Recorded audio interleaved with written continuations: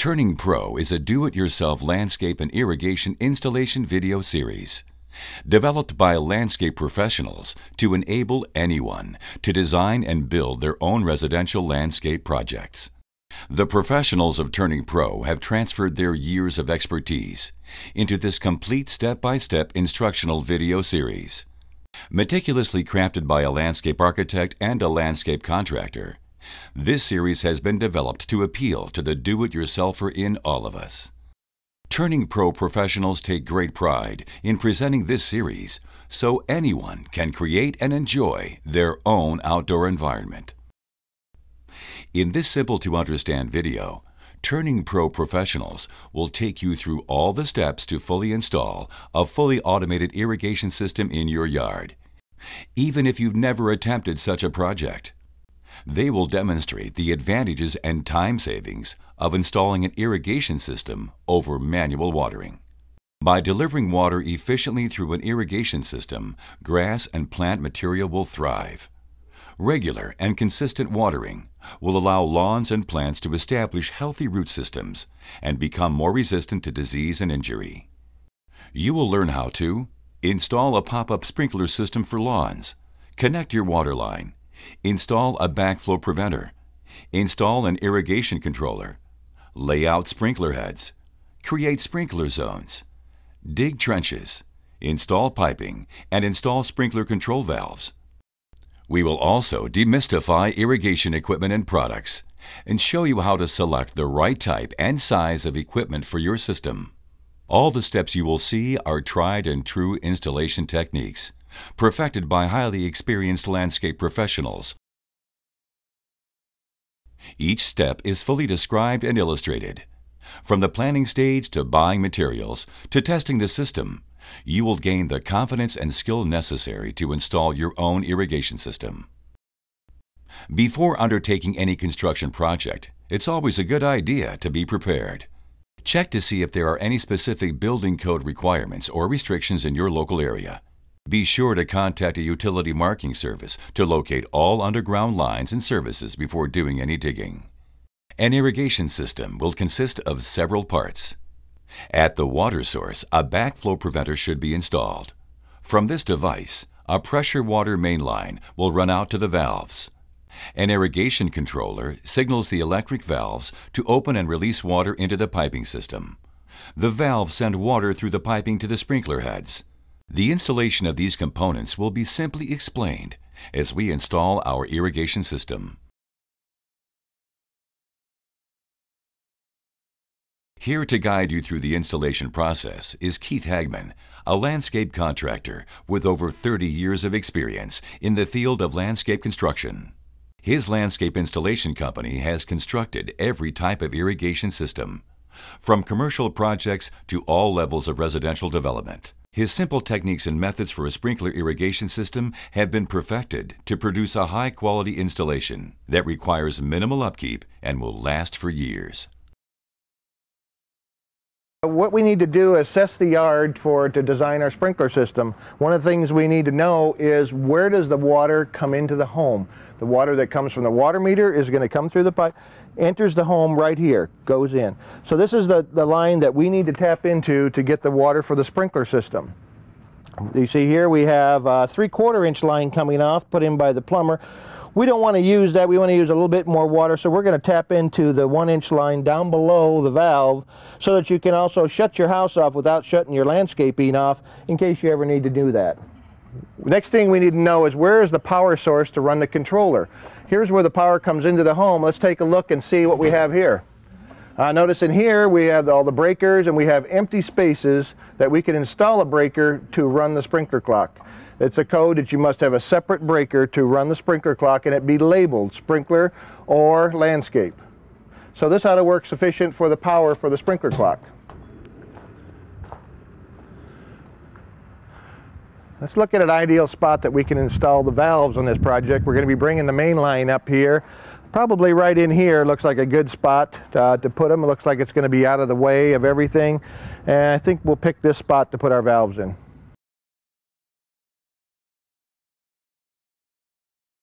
To begin the process of installing an irrigation system, it'll be necessary to develop a simple plan showing the layout of your residence. Graph paper will make this task easier. Begin by measuring your house from corner to corner and using a scale, sketch the outline on the graph paper. An architectural scale is readily available at most art or office supply stores. Mark the outline using the 1 8 inch equals 1 foot scale. This will be a very manageable size for most residences. After the house outline is drawn on your paper, measure out from all sides to perimeter walls, walks, patios, pool, or other structures and equipment. It is not necessary to have a high degree of accuracy at this point. If your plan is within 6 inches on any dimension, this will be adequate tolerance to lay out the irrigation design. Include the following items on your plan. The water source location. This is where the backflow preventer will be installed. Note where the irrigation controller will be installed.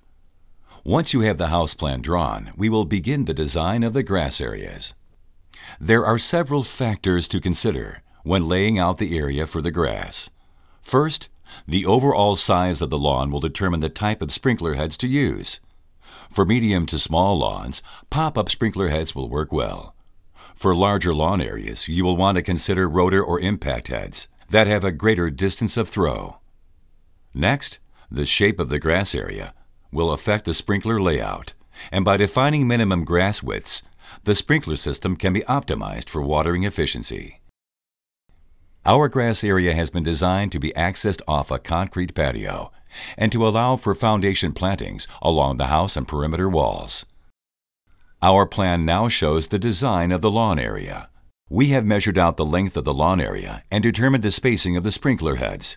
We are using pop-up sprinklers with a 12-foot radius throw, but we are locating them at 11-foot 6-inch intervals to achieve head-to-head coverage and allow for normal fluctuations in water flow. Sprinkler heads are designed to spray in an overlapping pattern. At least two heads should be spraying back to each head. This layout assures full coverage with no dry spots. Sprinkler heads are available in different radius increments. Select the radius best suited for the size of the grass area. For example, use 6 foot, 8 foot, or 10 foot radius heads for narrow grass areas. Use 12 foot, 15 foot, or 18 foot radius heads for larger grass areas. By selecting the right size head for your area, you will keep the sprinkler head at its optimum efficiency.